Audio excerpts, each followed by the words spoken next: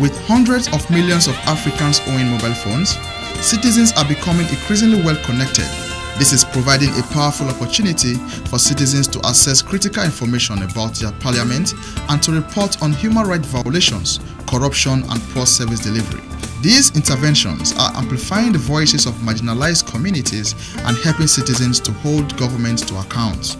I won't say mobile phone penetration has actually helped government to do what is right but it, what it has done is that it has given the populace an opportunity to be part of this government. We know that everybody, most people these days use internet-enabled phones. And on these phones we have access to social media platforms. You know a lot of interaction is going on. We even have public office holders with accounts with twitter accounts. So there is a lot of interaction going on. People are bearing out their grievances. We can all recall what happened during Occupy Nigeria. You know, through BBM platforms, through different mobile devices, everybody was communicating, even though the nation could have been at a halt at that point in time, but there was communication and it was basically because of these mobile phones. In Nigeria, a simple application created by developer Pledge 51 enables citizens to access their constitution by mobile phone and so far has been downloaded more than 7,500 times. During protests sparked by last year's fuel crisis, where an increase in the price of fuel resulted in soaring commodity prices, this enabled citizens to exercise their rights against police forces. For instance, uh, the past years where we had the subsidy strike, you know, people were able to upload pictures, send message about different protests around the country, and um, also, you know, follow rallies and all that. So people that weren't part of it also knew exactly what was going on at the rallies and all that. So it was actually a way to follow the rally from your home and also make your opinions known. So we're able to actually, you know, put our opinions about whatever the government is doing or whatever a certain person is doing and then I've been heard. Misinformation fueled this crisis with few citizens understanding the new fuel subsidy payments or oil revenue share in the country.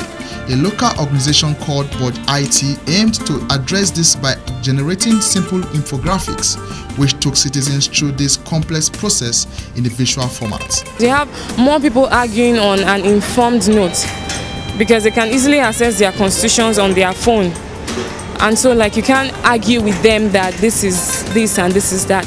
And with the mobile bits at least um, well i would say nigerian government. The nigerian government has a passive government because there's really a limit to how much people will say and to how much they would change themselves. Sometimes uh, we do our inspections even over the phone. You know where property is you send somebody over just through the use of a mobile phone. You speak to the security man you know and then everything goes out fine. Instead of you having to drive through the traffic that will take you hours. Come on. It goes well. According to the nigerian communication commission ncc the figure of active mobile subscribers in the country is now put at 110.3 million this public figure according to some quarters has helped citizens to better understand the country's budget and to utilize the information to ensure that allocated funds are translated into improved services. Now, having more than 10.3 million Nigerians with access to mobile phones is very, very impressive.